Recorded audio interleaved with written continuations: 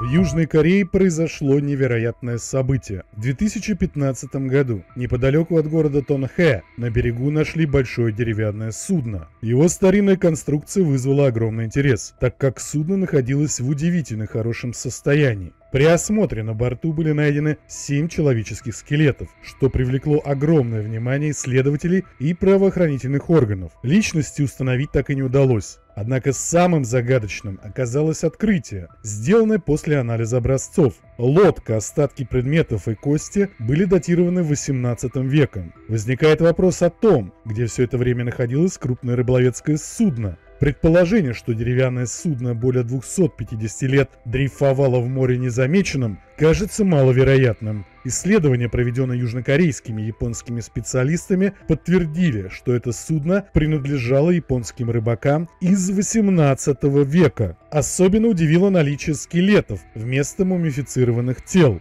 Криминалисты были удивлены тем, что одежда, хоть и в фрагментах, сохранилась, в то время как под ней остались лишь кости. Это указывает на то, что мягкие ткани полностью исчезли. Возможно, на это повлияли морские птицы и микроорганизмы. Но тогда и одежда не сохранилась бы. Это поднимает вопросы о наличии аномальных зон в мире, включая морские пространства, где действуют иные законы физики и биологии. Появление в 21 веке деревянного судна из 18 века может быть объяснено присутствием таких аномальных зон. В Японии проводились дополнительные исследования судна в 2018, 2020 и 2023 годах. Установлено, что это судно было построено в первой половине 18 века, а скелеты принадлежали двум поколениям, жившим не позднее первой четверти 19 века. Это указывает на то, что последнее путешествие судна состоялось до 1825 года. Никаких признаков насильственной смерти не было обнаружено, и архивные записи о пропаже такого судна отсутствуют, что неудивительно, учитывая, что не все рыболовецкие суда регистрировали свои выходы в море. А вы что думаете?